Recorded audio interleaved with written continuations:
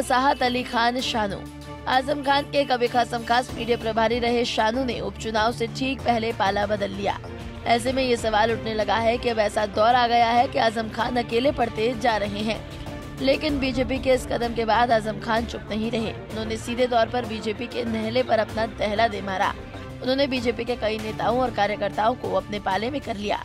इस मौके पर आज़म खान ने कहा कि ये काम काफ़ी पहले करना चाहते थे, लेकिन अब मौका मिला। इस दौरान उन्होंने कहा कि चुनाव लोकतंत्र का पर्व कहा जाता है, लेकिन क्या हो रहा है? इस पर टिप्पणी करने से बेहतर ये है कि हम खुद इसका एहसास करें और हालात का मुकाबला करें। ऐसी फतह हासिल करें कि लोकतंत्र को दमन तंत्र से बचाया जा सके। उन्होंने कहा कि कभी भी समाजवादी पार्टी ने इंसानों के बीच भेदभाव नहीं किया। चुनाव आते जाते रहते हैं, लेकिन चुनाव के बारे में ऐसा अन्याय का इतिहास रचा जा रहा है, जिसे आने वाली सदियाँ भी याद रखेंगी। जुल्म करने वालों का जुल्म और बर्दाश्त करने वालों का मादा याद रखा जाएगा। वहीं इसके अलावा सपा प्रत्याशी आसिम रजा ने भी शानों पर जमकर निशाना साधा और कहा कि वो अपना है जो हमारे साथ है। समय के साथ लोग बदल जाते हैं, लेकिन ये चुनाव इतिहास रचेगा। बता दें कि मैनपुरी के बाद रामपुर का चुनाव भी धीरे धीरे बेहद दिलचस्प होता जा रहा है, क्योंकि जब से आज़म खान के दाहिने हाथ कहे जाने वाले शानू बीजेपी में शामिल हुए हैं, उसके बाद से मानो ये लड़ाई कुछ ज़्यादा ही दिलचस्प हो गई है।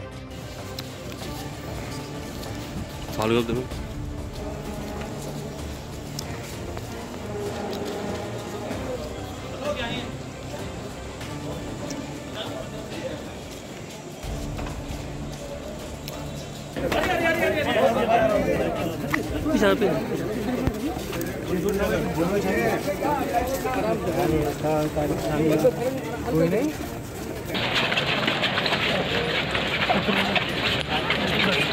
पीछे गेट आ रहा है। मत मार लीजिए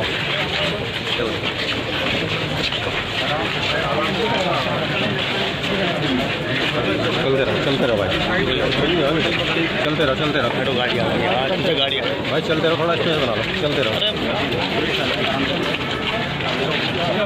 भाई चलते रहो रोको भाई चलते रहो। दूसरे मोर्चे बनाने की बात चल रही है। दूसरा मोर्चा बनाने की बात चल रही है भैया इस वक्त कोर्ट का मोर्चा अब आने वाले वक्त में देखना होगा कि जब चुनाव होंगे तो कौन किस पर भारी पड़ेगा। बता दें कि आज़म खान रामपुर में कई वर्षों से नहीं हारे हैं लेकिन इस बार उनके सामने सिर्फ़ बीजेपी चुनौती नहीं है, क्योंकि अब शानू ने भी पाला बदल लिया है तो वहीं रामपुर की सियासत में नवाब परिवार और आज़म खान के रिश्ते जग ज़ाहिर है। रामपुर में नवाब खानदान की सियासत के लिए कभी आज़म खान ग्रहण बने थे तो आज नवाब परिवार उनके लिए संकट खड़ा कर रहा है। पूर्व मंत्री नवाब काजिम अली खान उर्फ़ नावेद मियाँ और गन्ना विकास परिषद के पूर्व अध्यक्ष बाबर अली खान ने रामपुर उपचुनाव में बीजेपी को समर्थन देने का ऐलान किया है। नवाब काजिम अली और बाबर अली खान कांग्रेस पार्टी में हैं, लेकिन आज़म खान से राजनीतिक अदावत के चलते रामपुर सीट पर बीजेपी के साथ खड़े हैं।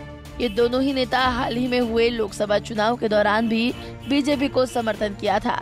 रामपुर लोकसभा उपचुनाव में बीजेपी ने जीत दर्ज की थी और अब फिर से दोनों ही नेताओं ने बीजेपी को समर्थन देकर सभा में खलबली मच गई है। अब देखना होगा कि रामपुर चुनाव में कौन बाजी मारता है। Bureau report, Punjab Kesari TV.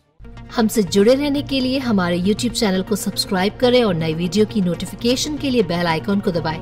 अगर आप ये वीडियो Facebook पर देख रहे हैं तो लाइक ज़रूर करें और ज़्यादा से ज़्यादा शेयर करें। धन्यवाद।